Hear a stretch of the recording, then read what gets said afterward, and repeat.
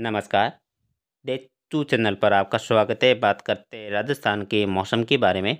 अगले 24 घंटों से लगाकर एक सप्ताह के दौरान कैसा रहेगा मौसम? आज है 28 फरवरी 2024 एक मार्च से मज़बूत पश्चिम विक्षोभ सक्रिय होने से राज्य के सभी जिलों पर मौसम में बदलाव आएगा। कई हल्की, कई मध्यम से लगाकर तेज बारिश और ओलावृष्टि होने की संभावना है और तीन मार्च से एक बार फिर से राजस्थान के संपूर्ण जिलों पर मौसम साफ़ होने की प्रबल संभावना बनी हुई है। यहाँ पर बीकानेर संभाग की बात करें, गंगानगर, हनुमानगढ़ और अनूपगढ़ और बीकानेर के क्षेत्रों की, यहाँ पर आज अट्ठाईस, उनतीस फरवरी का लगभग मौसम शुष्क रहेगा। लेकिन एक मार्च से सुबह से ही बीकानेर संभाग के उत्तरी जिलों पर मौसम में बदलाव आएगा, जो गंगानगर के क्षेत्र हैं, खासकर गंगानगर है और जो पल्लू के आसपास के क्षेत्र हैं सूरतगढ़ के आसपास के भागों पर एक मार्च से सुबह से ही मौसम में बदलाव आएगा और रिमझिम बारिश का दौर चल सकता है।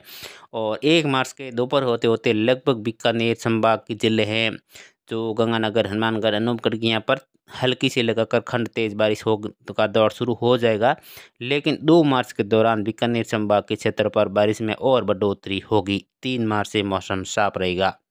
जोधपुर संभाग की बात करें, यहाँ पर जैसलमेर, जोधपुर, बाड़मेर, पाली जालो सिरोही की क्षेत्रों की यहाँ पर भी लगभग अट्ठाईस, उनतीस फरवरी का लगभग मौसम शुष्क रहेगा और एक मार्च से मौसम में फिर से बदलाव आएगा। एक मार्च से सुबह से ही नए बादल बनने शुरू हो जाएँगे। एक मार्च के दोपहर होते होते घने बादलों का जमाव गटा टोप रहेगा और छोटपुर जगहों पर हल्की बारिश भी चलेगी। लेकिन दो मार्च के दौरान जैसलमेर, बाड़मेर, जोधपुर और फलोदी के कई इलाकों पर कई हल्की, कई मध्यम से लगाकर तेज बारिश होने की संभावना है, हवाएँ भी तेज रहेगी और ओलावृष्टि भी होने की संभावना है और तीन मार्च जोधपुर संभाग के भागों पर भी मौसम शुष्क होने की संभावना है। कोटा उदयपुर संभाग की बात करें, यहाँ पर भी दो मार्च के दौरान बारिश का दौर तेज रहेगा। जो उदयपुर के खासकर बांसवाड़ा, डूंगरपुर, प्रतापगढ़, राजसमंद के क्षेत्र पर और उदयपुर की खासकर अरावली रेंज के भाग हैं। पाली के अरावली रेंज के भागों पर बारिश का दौर तेज रहने की संभावना है। वह भी तेज रहेगी दक्षिण, पश्चिम, लेकिन तीन मार्च से उदयपुर संभाग के भागों पर भी मौसम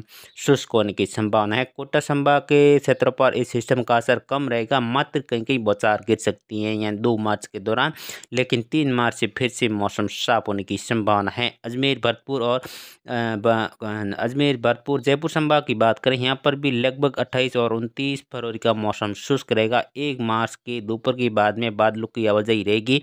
हालाँकि जयपुर संभाग के जो उत्तरी ज़िले हैं शुरू हैं सिक्कर हैं, झुंझुनू के आसपास के भागों पर, यहाँ पर यानी एक मार्च की बारिश शुरू होने की संभावनाएँ शुरू हैं सिक्कर हैं, झुंझुनू के कई इलाकों पर एक मार्च के दौरान कहीं हल्की कहीं मध्यम से लेकर तेज बारिश होने की संभावना है और दो मार्च के दौरान सिक्कर शुरू झुंझुनू, अलवर, भरतपुर, दौसा, जयपुर सिक्कर अजमेर, नागौर, टोंक, बूंदी, भीलवाड़ा के इलाके हैं। यहाँ पर देखा जाए तो कहीं हल्की कहीं मध्यम से लेकर तेज खंड बारिश और ओलावृष्टि होने की संभावना है।